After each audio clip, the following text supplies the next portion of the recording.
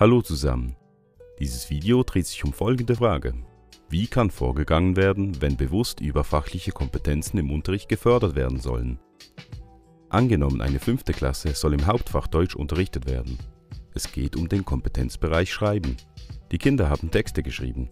Nun geht es darum, dass die Kinder lernen, die Texte zu analysieren und deren Qualität einzuschätzen. Zur Unterstützung kann der Lehrplan hinzugezogen werden. Zunächst wird im Lehrplan die Kompetenz des entsprechenden Fachbereichs gesucht, welche gefördert werden soll. Im Lehrplan 21 ist folgendes zu finden. Im Fachbereich Sprachen findet man die Kompetenzen zum Hauptfach Deutsch. Unter diesen ist der Kompetenzbereich Schreiben zu finden. Im Kompetenzbereich Schreiben ist beim Themenaspekt Reflexion über den Schreibprozess und eigene Schreibprodukte folgende Kompetenz ersichtlich. Die Schülerinnen und Schüler können über ihren Schreibprozess und ihre Schreibprodukte nachdenken und deren Qualität einschätzen. Der Grundanspruch im zweiten Zyklus für diese Kompetenz lautet, die Schülerinnen und Schüler können im Austausch mit anderen eine Distanz zum eigenen Text aufbauen und ihn mit Hilfe von Kriterien einschätzen, zum Beispiel in einer Schreibkonferenz.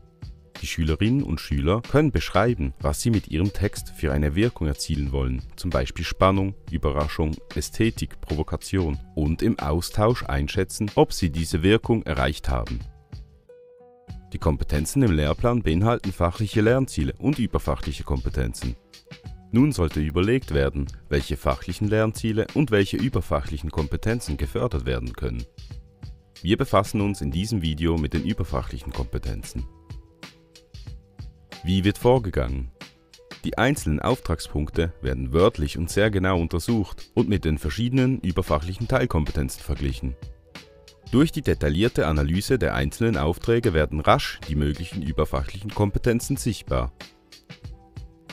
Die Schwerpunkte überfachlicher Kompetenzen des jeweiligen Fachbereichs werden bei der Analyse möglichst mit einbezogen.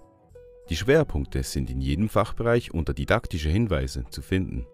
Im Fachbereich Deutsch sind die Schwerpunkte methodische Kompetenzen, Sprachfähigkeit, Problemlöseverhalten, Nutzen von Informationen, personale Kompetenzen, Selbstreflexion, soziale Kompetenzen, Kooperationsfähigkeit, Konfliktfähigkeit und Umgang mit Vielfalt.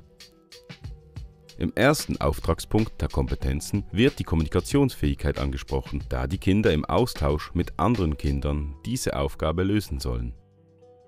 Reflexionsfähigkeit kann gefördert werden, da die Kinder ihren eigenen Text einschätzen sollen.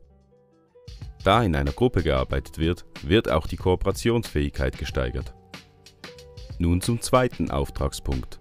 Die Kinder sollen einschätzen können, welche Wirkung ihr Text erzielt hat. Dazu ist Reflexionsfähigkeit nötig.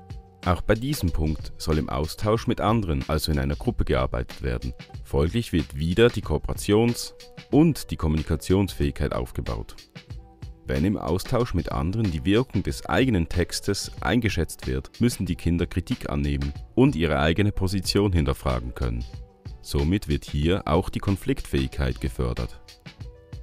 Zudem werden auch die fachlichen Lernziele konkreter. Die ermittelten überfachlichen Kompetenzen beziehen sich auf Fähigkeiten der personalen und der sozialen Teilkompetenz. Als nächster Schritt sollte nun eine passende Unterrichtsmethode gewählt werden. Oftmals wird eine mögliche Methode direkt im Lehrplan angegeben, zum Beispiel in einer Schreibkonferenz. Ist dies nicht der Fall, sollte man verschiedene mögliche Methoden in Betracht ziehen. Um sich ein Methodenrepertoire anzueignen, benötigt es praktische Erfahrung. Nach und nach zeigt sich, welche Methoden persönlich zusagen und auch erfolgsversprechend sind. Je nach Fach- und Kompetenzbereich macht auch die eine oder andere Methode mehr oder weniger Sinn. Um Ideen zu neuen Methoden zu bekommen, kann auf folgende Hilfsmittel zurückgegriffen werden. Sachliteratur über Unterrichtsmethoden gibt es einige. Zu empfehlen ist zum Beispiel Methoden für den Unterricht von Wolfgang Mattes. Auch im Internet sind viele Ideen für Methoden zu finden. Auf den Internetseiten der Universitäten Oldenburg und Köln gibt es umfangreiche und detailliert beschriebene Sammlungen von Unterrichtsmethoden.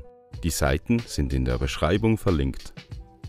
Es gibt verschiedene Möglichkeiten, um die überfachlichen Kompetenzen zu bewerten. Mehr dazu im nächsten Video. Viel Spaß beim Unterrichten!